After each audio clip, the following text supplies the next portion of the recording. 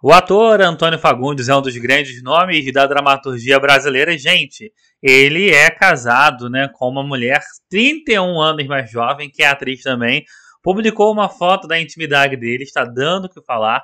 Muita gente elogiando a esposa do Fagundão.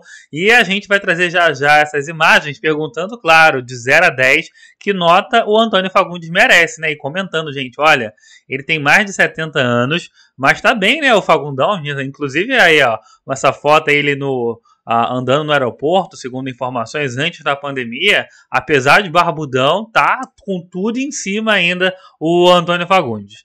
Antes daquele recadinho rápido, não esqueça de se inscrever no canal clicando no botão vermelho da inscrição, ative as notificações para estar sempre recebendo os nossos vídeos em tempo real e você me encontra no Instagram, arroba jornalista Fernando Borges. Ele, gente, é casado com a também atriz Alexandra Martins, publicou uma foto na rede social para homenagear o aniversário da companheira, e aí, claro, ela também recebeu muitos elogios.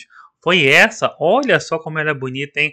A esposa do Fagundão também é maravilhosa. E a gente tem também uma foto deles juntos, né, na rua, para a rede social e também num programa de televisão. Muitas felicidades para o casal. Até a próxima conexão.